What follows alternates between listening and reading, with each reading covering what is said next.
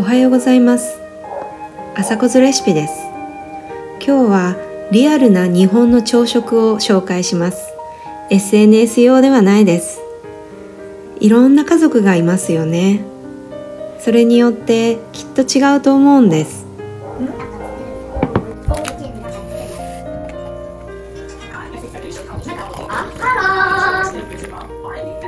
私の場合子供に試食は何がいいと聞きます。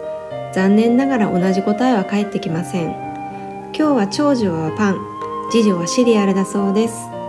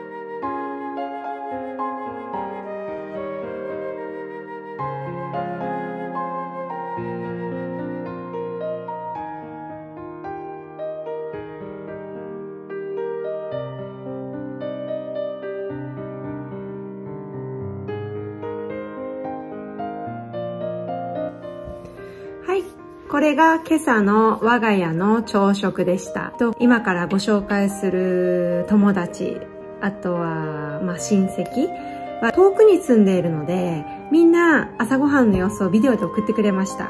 それをまとめてあります。では見ていきましょう。どうぞ。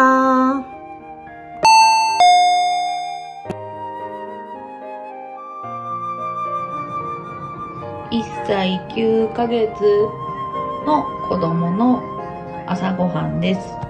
鮭の素を使ったおにぎりにしらすを混ぜて作ってます。あとキャベツと油揚げの味噌汁とヨーグルト。私はおにぎりが多分余るのでその残りとコーヒーを飲んだりもしおにぎりを全部食べられたらトーストをチンして1枚食べます。これが私の朝ごはんです。はいどうぞ。あーうん。はいどうぞあん。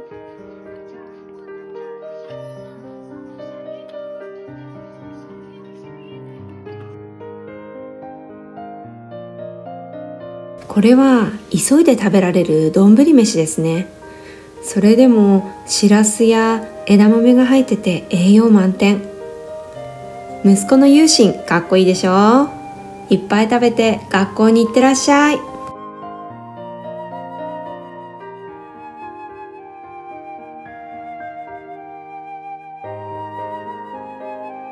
おはようございます。気取らな朝ごはんということで、本当に気取ってな朝ごはんです。今日の朝は、パパが作ってくれたお味噌汁、野菜たっぷり。あとは、こちら、ソーセージ。はい。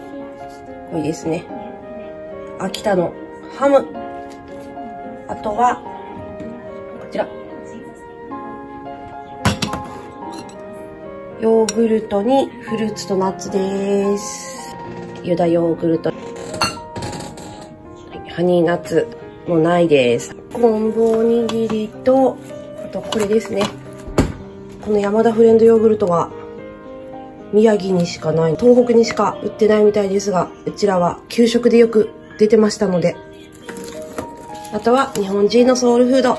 じゃーん。おかめ納豆。はい。この辺でちょっと作っていきます。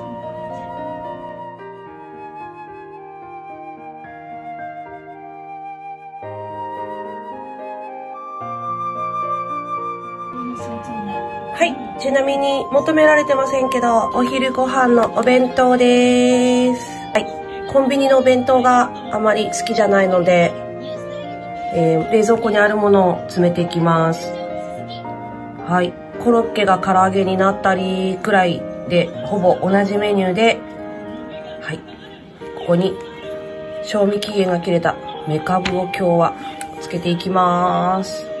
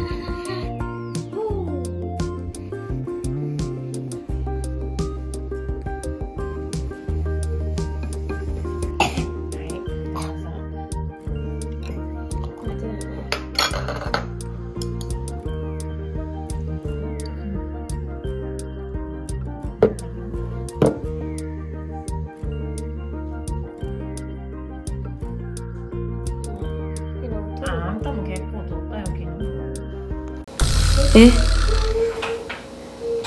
つもすごすぎる。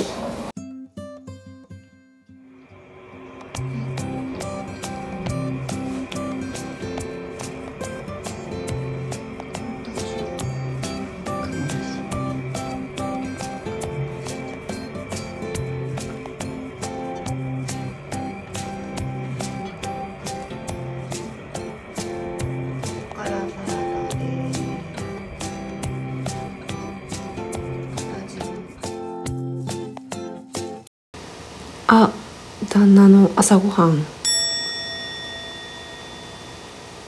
ごめん。